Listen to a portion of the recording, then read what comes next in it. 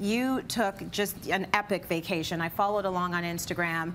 The photography was beautiful. You were in India with your husband. I was. So yes. she brought us all the pictures. We're going to drool over the pictures now.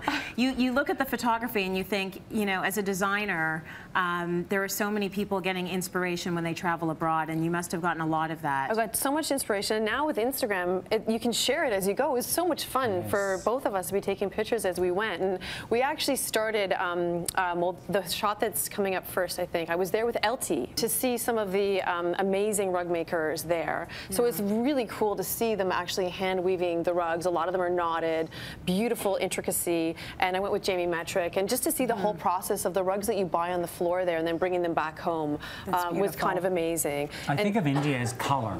Yeah, Right. it Color, was. beautiful Right. color. Well, look at this mix of old and new, though, in this picture. You just saw a man on a cell phone. Yes. Uh, but, you know, inside one of the oldest buildings, like a, Yeah. a beautiful Yes. uh, That old was, uh, building. I that's love a that Jain temple. Um, so it is. You, uh, you would die to see how intricate the carving is in those. buildings. It's unbelievable. And that guy was one of the keepers of the temple, and he's on his cell phone. In those Yeah. red and I pants. caught him right in that moment. He was like texting or something. It's so Yeah, weird. that's so cool. The whole mix of it. Yeah. Very cool. Um, and then the step wells. Those are a big part of India. You find them all over, um, mostly Rajasthan, which is where we were. Mm-hmm. Those beautiful wells with all the steps, and you've seen them in Bollywood films. And then we stayed at a hotel in Devigarh where they designed the pool off of that same idea of the steps moving into the pool, but not as deep. Oh, Um, nice. so beautiful, and so many, uh, yeah, like you said, the colors. Such a rich culture. Yes, Such a well, rich when you talk about color as well, marigolds. So there was a certain festival going on, and the marigolds were was going on. absolutely Yeah. everywhere. So those flowers were everywhere. You'd see people in the streets um, streaming the garlands together Mm-hmm. um, and handing them out for people to, you know, pay homage with. Yeah. Um, and then every hotel that we stayed in had a giant bowl of marigolds to welcome you. I bought a little teeny, teeny, tiny one. oh, that's nice. Oh, that? Because I, could, I couldn't fit the giant one in my suitcase. Yeah, that was gonna I be like, tough. I have to bring a little bit back. yeah, like, oh, it weighs four million pounds. Um, but yeah, it's just such a beautiful um, sort of, um, you know, ritual to Right. welcome people into a space, and all their sense of which ritual is so beautiful. So I mentioned that um, Ariz was there as well, Yes, your he was, husband, and yes. I'm looking at both their accounts, and I'm thinking these two are up to snuff on their photography. um, his pictures were equally gorgeous, but one one uh, photo that you took, I think probably just with your iPhone, Mm-hmm. Yes. in the middle of a storm. Yes. Is that this is the sort of thing that should be art in Yeah. someone's living room? It is absolutely stunning. Just a tree, Yeah. like being blown. It was so crazy. We were driving to meet some of the weavers Yes. way out in the country. This There it is. crazy storm Oh came up. goodness. And you're in the desert, so when a storm comes up, it's sandy. And it was quite scary.